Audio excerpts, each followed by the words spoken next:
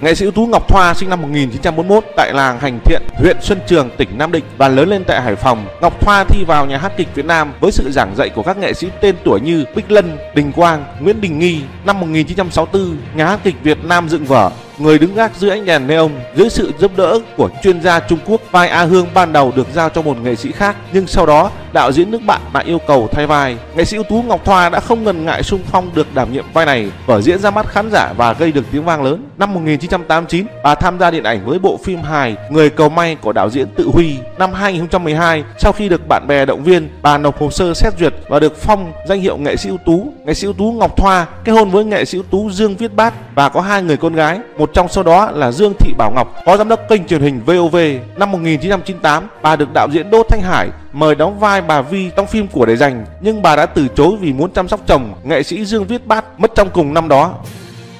Nhiều khán giả trẻ thì biết Ngọc Siêu Tú, Ngọc Tạng qua những bộ phim trên sóng truyền hình mới đây nhất. Tuy nhiên, từ những năm 1990, bà đã cực kỳ quen mặt với khán giả. Bà sinh năm 1942, gốc ở Hà Nội. Nữ nghệ sĩ gạo cội từng có thời gian công tác ở đoàn kịch nói Hà Tây, nay là đoàn kịch 3 thuộc nhà hát kịch Hà Nội. Bà đã cống hiến cả đời cho nghệ thuật và xây dựng cho mình một hình ảnh thật đẹp trong mắt khán giả.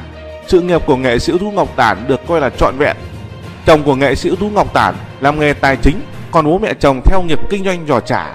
Dù khác nghề nhưng nghệ sĩ Ngọc Tản vẫn được mẹ chồng yêu quý như con đẻ vì cái nét bên cạnh một sự nghiệp diễn xuất khổng lồ. Nữ nghệ sĩ Ngọc Tản còn cực kỳ mắt tay trong công việc kinh doanh giò trả của mình. Bà chính là người đứng sau thương hiệu nem chả bà Tản nổi tiếng của làng Ước Lễ, Thanh Oai, Hà Nội, khiến bao thực khách ngày đêm thương nhớ. Đây là nghề truyền thống của gia đình chồng và nữ nghệ sĩ được mẹ chồng đích thân truyền nghề, rồi tiếp tục phát triển cho đến tận bây giờ.